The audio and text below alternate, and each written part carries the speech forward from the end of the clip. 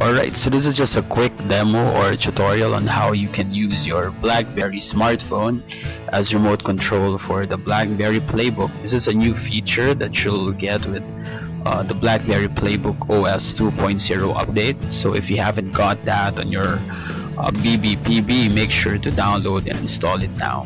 Alright, so the first thing that you need to do is to pair your BlackBerry smartphone your playbook using BlackBerry Bridge. We have a separate discussion on this in TechPinas. So if you want to learn how to do it, you just go to techpinas.com and check it out. Alright, so this is part of the process. You just have to um, pair the two devices. So you click continue button and then uh, you'll have to use your smartphone here to uh, scan the QR code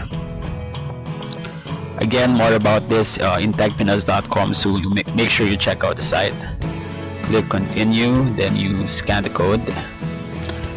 Alright this is for quicker pairing and there you go.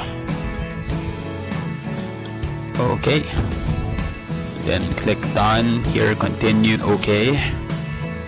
And uh, on top you'll find this use remote control button.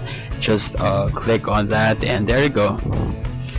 Your uh, smartphone is now a remote control for the BlackBerry Playbook so you, you have the different uh, gestures. You, you, can use the familiar swipe gestures for navigating the screen.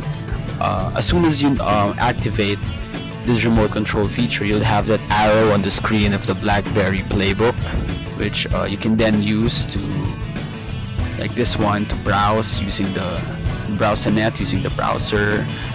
There you go. And what's nice is that you can use the keypad of your smartphone as keyboard for the, the playbook.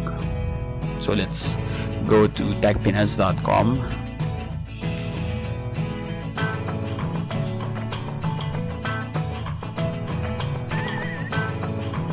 okay. Then hit enter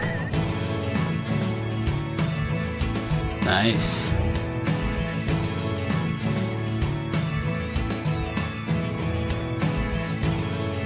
You can also use the optical trackpad to uh, to scroll down the screen. But you can also use multi-touch gestures like this one, which is a two-finger gesture for scrolling up and down the BlackBerry Playbook uh, display okay so let's try this on other applications. Mm, let's open uh, this one uh, for documents to go especially when you're projecting the display of your playbook on a larger screen. So for example if you have if you have uh, PowerPoint presentations where where you need to this I think is the more useful application of this new feature. Be more mobile or walk around the stage and you won't always have to be in front of your playbook. Then you can use your smartphone as remote control for, for the next slide.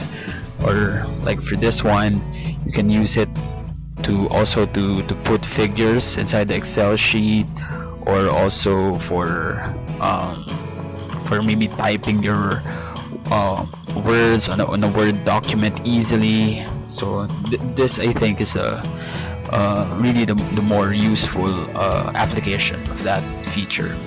So as you can see the playbook with, with the playbook you, you have those uh, frame gestures and you also get that with the remote control. So you can actually swipe from below from the sides and also from the top of the display okay so that's it. That's uh, using your BlackBerry smartphone as remote control for BBPB thumbs up